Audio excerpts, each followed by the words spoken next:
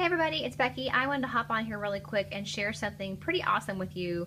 If you have any little toys or battery operated candles and things like that that use these little tiny batteries, this is the 1.5 volt, um, what's it called, LR44 button cell battery and you know there's usually a couple different sizes of these kind of small things. Uh, we were at the Dollar Tree and I saw that they had the, um, I think it was a Sylvania brand of the little itsy bitsy batteries. But we have a couple things my girls do, little light up toys and stuff that use these little LR44 1.5 volt batteries. And typically we don't replace them very often because they're not the cheapest things in the world. A lot of times replacement batteries like this cost more than the toy that you're putting them in to replace.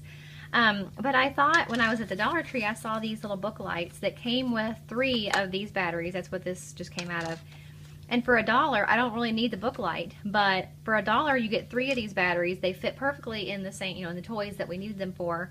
And in this case, you know, you get three per set. So I just picked up two packages of these and what we were trying to find batteries for only needed two of these. So now we have two extra. Each girl has the, the new batteries in their toys and for a lot less money because usually these things cost between like two, three, four dollars a piece So maybe you can find a multi-pack for like five or six.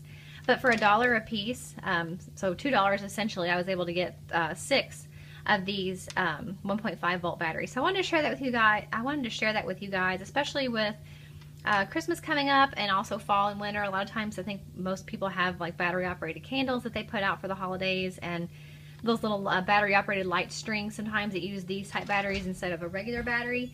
So I wanted to share that with you guys as a money saving tip to be on the lookout at the Dollar Tree for the individual packages of batteries, but then also things like this that maybe you don't need the item, but it comes with the batteries that you do need.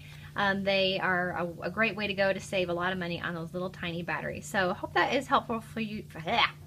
Hope that's helpful for you guys. Thanks for watching and I'll see you in the next video. Bye.